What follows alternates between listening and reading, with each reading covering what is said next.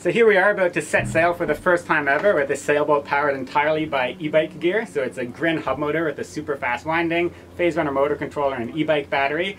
Um, and this is our first attempt at trying to do marine propulsion uh, electric.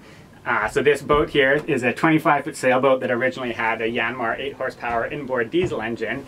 Um, and 8 horsepower is a lot more power than e-bike motors run at, but it's also spinning at a much higher RPM. So at full speed, this uh, propeller shaft typically does, I think, 1200 RPM.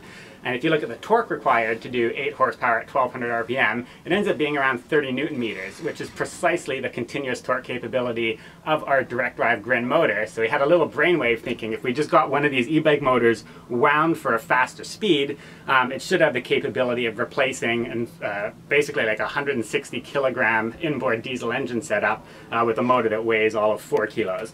So I'll just show you down here what's going on.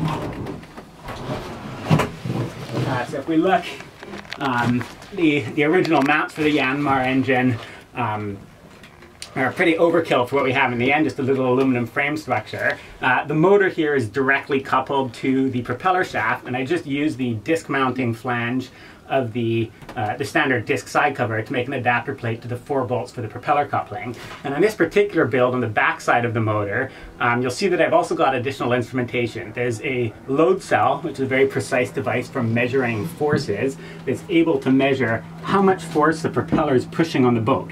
So when I'm driving with this, with this system, once I add the circuitry on here, I'll be able to know how many pounds, newtons, kilograms, whatever units you want, is pushing forwards on the hull. And if I know that information and the hull speed of the boat, then I have an exact measure of the mechanical power output of the propeller. Uh, this other load cell that you see on the side, this is hooked up to a torque arm. All the torque of this motor is now coupled through this torque arm to a measuring device, so I have a super precise measurement of how much torque the motor is putting on the propeller. Now given that we know the RPM of the motor and the torque it's producing, we get another very exact power measurement, which is the mechanical power output of the motor. So with those two values, the mechanical power of the motor and the mechanical thrust going on the sailboat, we have an exact real-time readout of the efficiency of our propeller. So at all riding conditions, we can see exactly how efficient the propeller is at converting motor rotational energy into forwards thrust energy on the boat. And then we can quantify the performance differences between folding props, water blades, different pitches in different kind of sailing and boating scenarios. Um, and, uh, and this is something that would just be impossible to do with a conventional diesel engine because there's so much more mass and vibration. You wouldn't be able to have this kind of sensitive force measuring um, but because of this smooth, silent, and, and vibration-free behavior of an electric motor, we're able to have all of that instrumentation as part of a, a straightforward installation.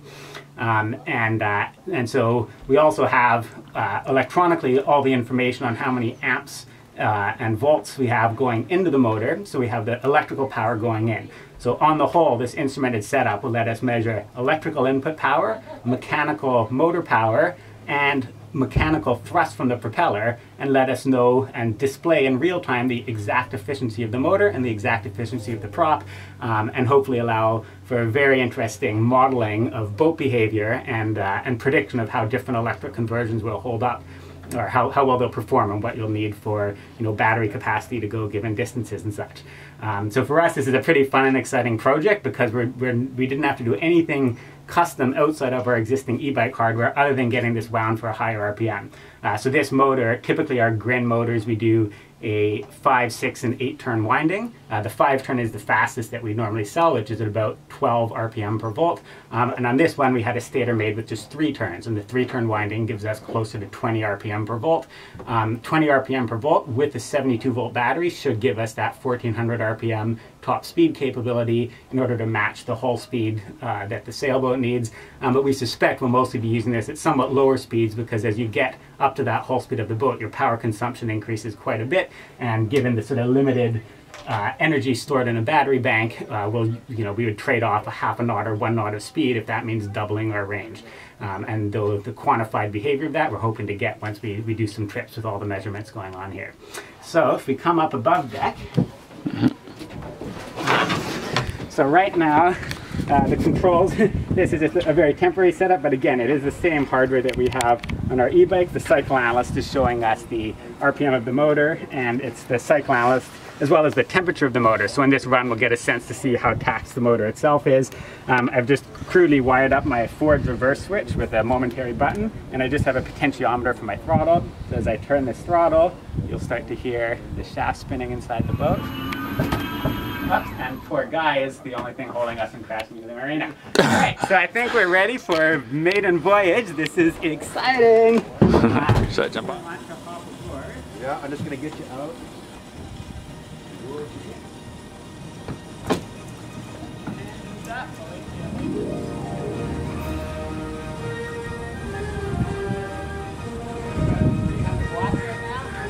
That's 300 watts. She's moving. Nice.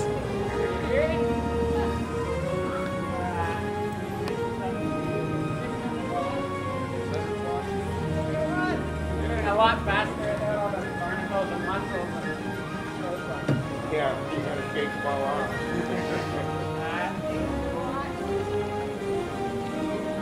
we're off. They will see you in three hours. We for help our Yeah. Go faster. Alright, let's try that. So what are you at now? Uh, so now I'm at, so this is a thousand watts.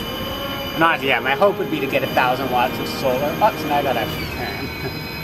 um, but I don't have a, a hull speed indicator on the boat to see just how fast it's moving us. What is your sailing experience? And like you? you said, the barnacles might be a little bit of an impact to the hull speed Ha- Have we indicator. at least crossed the two knot threshold in your estimate?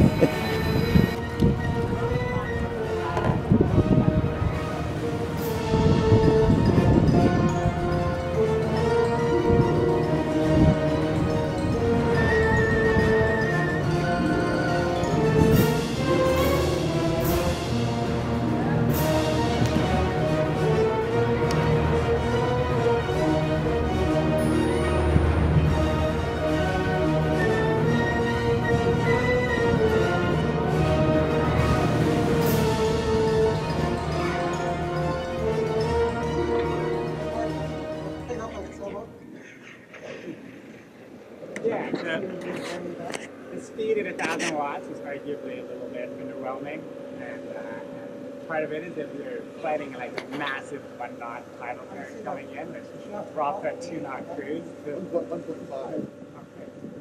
Um, and uh, but yeah, I really do do look forward to see when we get a 72 volt battery in there uh, and crank it up. We should be